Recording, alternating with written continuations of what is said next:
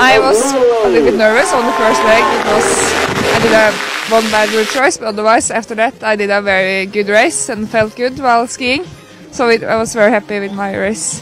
Uh, I had just a tactic of uh, on the first leg catching up with Russia and try to ski fast, and after that make stable and uh, solid races with good speed, and uh, hopefully that will be enough to not being caught up with by the other guys, and uh, it was luckily.